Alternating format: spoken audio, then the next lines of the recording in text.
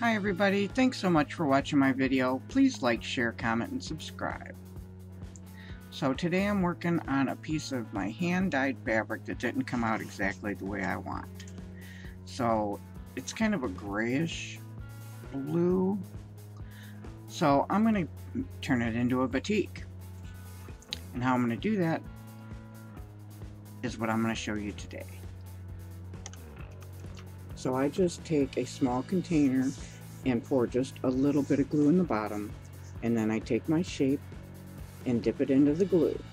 Now sometimes a film will cover uh, of glue, kind of like when you blow a bubble from a bubble ring, and you can either blow that out or use the paintbrush to pop that part of it because you don't want it to be one blob, you want it to be a clear print.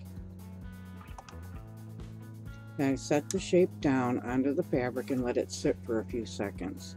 I'm going to use two shapes with this one. I'm going to use the shell and the fish.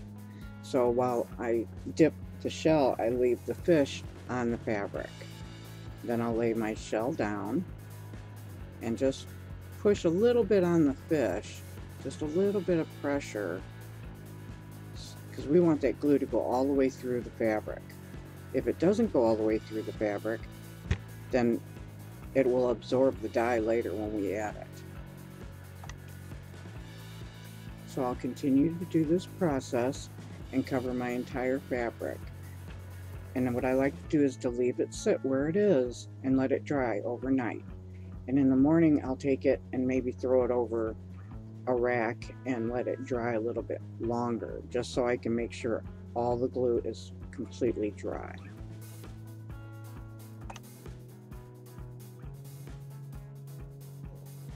Now, at times you'll get an accumulation of glue in the corners of your stamp.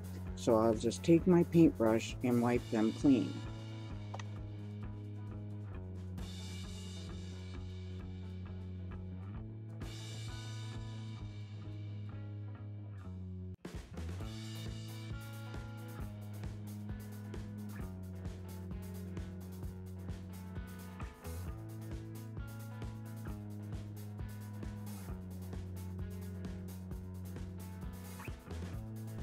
Now we're able to see the stamp in the fabric better since the glue has absorbed into the fabric. I have a half a yard of this fabric to do, so I'm going to go ahead and finish this up, let it sit overnight, and dye it sometime tomorrow. And I'll be back to show you that. This isn't the same fabric that I used in the video, but it does show the process that I used to batik my fabrics. I have my Procion dye and soda ash solution in my spray bottle and I spray the fabric. I saturate it pretty good, but not completely because that glue is water soluble. We don't want that glue to wash away. That's why I do it in the sun. They advise that you don't dye in the sun, but I like it to dry as fast as possible so that glue will not dissolve. So my Procion dye mixture is one teaspoon of Procion dye to one and a half cups of soda ash water. My soda ash water I use a half a gallon of warm water and dissolve 2 tablespoons of salt and 1 tablespoon of soda ash. So this will sit until it's dry completely, then I'll take it in and let it sit overnight before I wash it.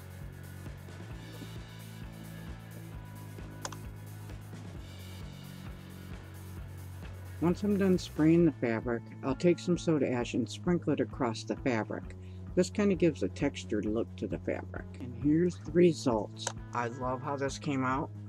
What had happened is I had the lighter blue and then the darker blue, uh, both in spray bottles.